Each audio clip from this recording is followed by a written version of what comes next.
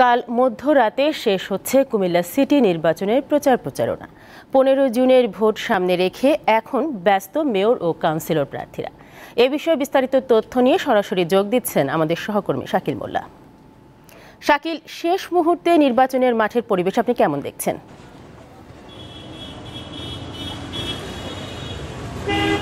আপনি যেমনটি বলছিলেন, একেবারে প্রচার প্রচারণার শেষ মুহূর্তে চলে এসেছে। আগামী পনেরোই জুন নির্বাচনকে সামনে রেখে শেষ মুহূর্তের প্রচারণা সেরে নিচ্ছে প্রার্থীরা।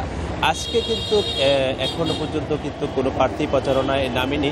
ঠিক দশটার পর কি স্বতন্ত্র প্রার্থী নিজামুদ্দিন কায়সার প্রচারণা করার কথা রয়েছে এবং স্বতন্ত্র প্রার্থী মনিরুল হক সাক্ষ্য, তিনি সাড়ে দশটা নাগাদ প্রচারণা শুরু করার কথা রয়েছে। মনিরুল হক সাক্ষ্য কিন্তু গতকালকে একটি মিডিয়ার সামনে একটি অভিযোগ করেছিলেন যে নির্বাচনের দিন এই বহিরাগতদের নির্বাচনের ভোটারদেরকে ভয়ভূতি দেখার একটি অভিযোগ কিন্তু মিডিয়ার সামনে করেছিলেন। তিনি কিন্তু লিখিত আকারে নির্বাচন কমিশনের কাছে কিন্তু কোনো অভিযোগ করেনি। এই বিষয়টি নিয়ে আমরা কথা বলেছিলাম রিটার্নিং কর্মকর্তা শাহাদুল নবী চৌধুরীর সাথে। তিনি যেমনটি জানিয়েছেন যে লিখিত অভিযোগ পেলে তিনি ব্যবস্থা গ্রহণ করবেন।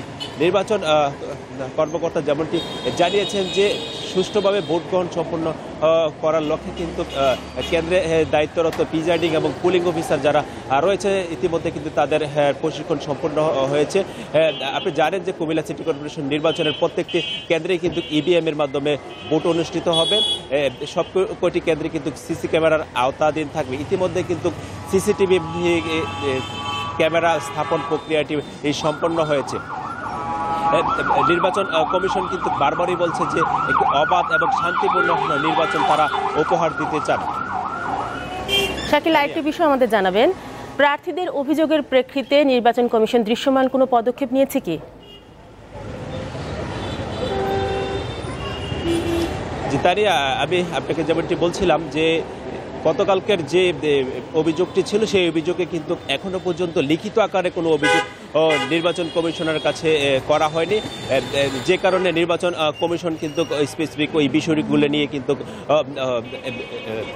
আইনগত ব্যবস্থা নিতে পারেন। নির্বাচন কর্মকর্তারা কিন্তু মাঠে রয়েছে। তারা কিন্তু সার্বক্ষণিক দায়িত্বরত যে ম্যাজিস্ট্রেট রয়েছে এবং আইন শৃঙ্খলা বাহিনীর যারা রয়েছে, তারা কিন্তু নগরের অলিতে গলিতে টহল দিতে আমরা দেখেছি এবং অবৈধ যে যানবাহনগুলো রয়েছে সেগুলোতে তল্লাশি করছেন। এবং নির্বাচনের ভোটের পরিবেশ কিন্তু শান্ত রয়েছে।